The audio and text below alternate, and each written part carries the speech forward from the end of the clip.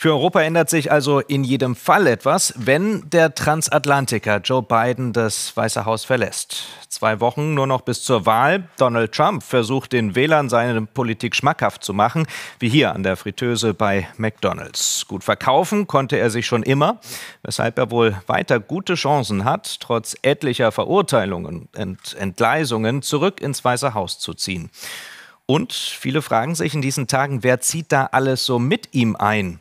Große Spender und Lobbyisten haben immer schon die US-Politik geprägt, bei Demokraten und Republikanern. Doch mit Elon Musk lenkt nun der reichste Mann der Welt Trumps Wahlkampf mit. Kerstin Klein. Eine Million Dollar. Seit dem Wochenende verlost Elon Musk täglich einen solchen Scheck. Der Kniff, wer gewinnen will, muss in einem der umkämpften Swing States leben und als Wähler registriert sein. So will Musk Unentschlossene mobilisieren. Umstritten, ob das legal ist. Der Multimilliardär hat eine Mission. Donald Trump ins Weiße Haus zurückbringen. Er tritt mit Trump auf, pumpt Millionen in dessen Wahlkampf. Fight, fight, fight. Vote, vote, vote. Kämpft und wählt, ruft Musk. Kein anderer Superreicher hat sich je so sehr in eine US-Präsidentschaftswahl eingemischt. In etlichen Bundesstaaten können Wähler schon jetzt abstimmen. Zwei Wochen vor dem eigentlichen Wahltag könnte das Rennen kaum enger sein. Harris und Trump gleich auf. Beide Kandidaten jetten unermüdlich durch die USA. Trumps Botschaft? Harris und Biden hätten das Land zugrunde gerichtet.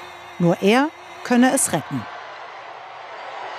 Wenn ihr dieses Desaster beenden wollt, müsst ihr wählen gehen. Wir werden diese dummen Leute verjagen. Kürzlich stellte sich Trump für wenige Minuten bei McDonald's an die Fritteuse, verteilte Pommes an handverlesene Fans. Ein inszenierter Auftritt, kritischen Interviews weicht Trump aus. Bei dieser Fragerunde ließ er nach einem Sanitätereinsatz fast 40 Minuten lang Songs von seiner Playlist spielen. Die Fragen der Wähler blieben unbeantwortet. Kamala Harris setzt im Endspurt verstärkt auf Republikaner wie Liz Cheney. Country over Party lautet ihre Botschaft. Die Zukunft des Landes sei wichtiger als die Parteizugehörigkeit. Wollen wir einen Präsidenten, der im Amt Vollzeit Rachepläne schmiedet? Oder eine Präsidentin, die sich um das amerikanische Volk kümmert. Harris hat sich kürzlich auch einem Interview bei Fox News gestellt, Trumps Haussender. Und sie hat prominente Unterstützer. Stevie Wonder singt für sie, Barack Obama absolviert Wahlkampfauftritte in umkämpften Bundesstaaten. Am Weißen Haus wird bereits alles für die Amtseinführung im Januar vorbereitet. Wer dann hier einzieht, scheint offener denn je. Ja, und einziehen wird nicht zwingend der Kandidat oder die Kandidatin mit den bundesweit meisten Stimmen. Es kommt auf die einzelnen Bundesstaaten an, vor allem auf die sogenannten Swing States, die mal Demokraten, mal Republikaner wählen und die ausschlaggebenden Stimmen bringen können. Wie wir auch auf der Tagesthemenreise unserer Korrespondentin Gudrun Engel durch die USA sehen. Heute bei ihrem Besuch in North Carolina an der Ostküste der USA. Traumhafte Landschaften und heiße Pisten sind in dem Bundesstaat nicht weit voneinander entfernt. Buh! Süßes oder Saures? Gottes Glaube und Familie, Trump und das Weiße Haus. Autos und Amerika. Es gibt Dinge, die gehören einfach untrennbar zusammen auf der Rennstrecke von Swansboro, North Carolina. So ist das hier im Süden. Das ist unsere DNA. Auch die Autos gehören zur Community. Ein Jahr lang hat Abigail Reimer an ihrem Auto geschraubt. Das war mal ein Honda Civic. Jedes Wochenende treten sie hier an. Fast alle Weiße, die ihr Geld mit ihrer Hände Arbeit verdienen.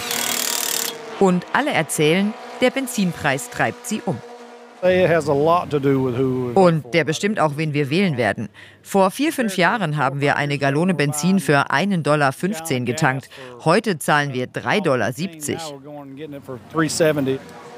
Die Sympathien deshalb hier deutlich bei Trump.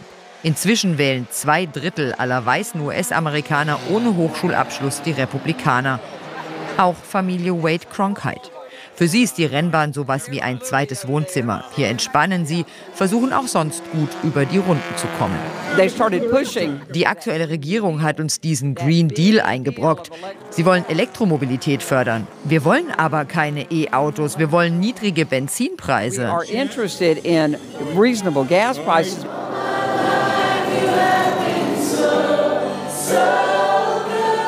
Starker Glaube, ein traditionelles Familienbild konservative Werte. So tickt der Süden der USA fast überall. Janet und ihre Tochter Tracy nehmen uns mit in ihre Baptistengemeinde. Hier wird die Bibel wörtlich genommen. Eine Familie besteht aus Mann, Ehefrau und Kindern. Der Pastor eine moralische Instanz. Sein Wort hat Gewicht. Denken Sie bei Ihrer Stimmabgabe an die nächste Generation und an die Nation, in der sie aufwachsen soll. Eine Nation, die Rechtschaffenheit schätzt, statt eine, die das Böse fördert. Mir wird klar, das Böse schreibt er den Demokraten zu, die für ein liberales Weltbild eintreten, wie etwa das Recht auf Abtreibung. Nach dem Gottesdienst wieder Autorennen, dieses Mal im Fernsehen und dazu traditionelles Sonntagsessen. Jedes Wochenende kocht Janet Wade für die ganze Familie. Die stark gestiegenen Lebensmittelpreise machen ihnen zu schaffen. Unter Donald Trump als Präsident sei das Leben günstiger gewesen. Not only are the prices higher, die Preise sind nicht nur höher jetzt, in vielen Packungen ist außerdem auch weniger drin. Ich nutze beim Einkaufen Rabattgutscheine, die Geschäfte anbieten. Mit diesen Rabatten kann man Geld sparen. Harte Arbeit, Disziplin, Sparsamkeit. JC Wade hat sich hochgearbeitet, auch ohne Schulabschluss aus sehr einfachen Verhältnissen. Erst als er sechs war, wurde die heimische Farm an das Stromnetz angeschlossen. Erst mit 16 hatten sie fließend Wasser. Jetzt mit 81 hat er eine beeindruckende Karriere hinter sich, komplett ohne Unterstützung vom Staat, sagt er. Der soll sich raushalten. I didn't inherit anything. I didn't ich habe in meinem Leben nichts geerbt. Ich habe von niemandem etwas bekommen. Was wir besitzen, haben wir uns hart erarbeitet, gespart und dafür bezahlt. Und das ist nichts Besonderes, das nur ich geschafft habe. In diesem Land hat jeder diese Chance. Eine Variante des American Dreams, des amerikanischen Traumes. Jeder kann es schaffen, aus eigener Kraft. Donald Trumps Make America Great Again verspricht Ihnen genau das. Und meine Kollegin Gudrun Engel erreichen wir jetzt in Rocky Mount in North Carolina. Gudrun, du stehst vor einem Wahllokal, das bereits geöffnet hat. Was beobachtest du da? Es ist richtig viel los. Wir waren heute im Laufe des Tages bei mehreren Wahllokalen und zum Teil haben sich sogar Schlangen gebildet. Jetzt schon zwei Wochen vor dem eigentlichen Wahltermin. Die Wahllokale haben schon geöffnet, weil man eben nicht will, dass alle 150 Millionen Wählerinnen und Wähler an einem Tag kommen und das dann eine logistische Herausforderung wird. Und hier wird Wahlkampf gemacht auf den letzten Metern. Bis zur Eingangstür sind die Schilder gestellt. Es gibt Kandidaten, die da noch stehen und den Wählern direkt beim Reingehen noch sagen, bitte stimmt für mich ab, weil ja nicht nur für den Präsidenten abgestimmt wird, sondern auch für alle möglichen anderen Ämter. Die Behörden bestätigen tatsächlich, dass es noch nie so eine Rekordbeteiligung gegeben hat, so früh vor der Wahl. Hier in North Carolina haben schon eine Million Menschen ihre Stimme abgegeben und in den gesamten Vereinigten Staaten schon 18 Millionen Menschen. Wer seine Stimme abgibt, kriegt hinterher so einen Sticker. I voted, die sind schon an einigen Stellen ausgegangen und für Erstwähler wird tatsächlich geklingelt. Was wir auch erfahren haben, die meisten, die ihre Stimme früh abgeben, sind tatsächlich Anhänger der Republikaner. Donald Trump hat sehr stark dafür geworben, früh zur Wahl zu gehen und das scheint zu funktionieren.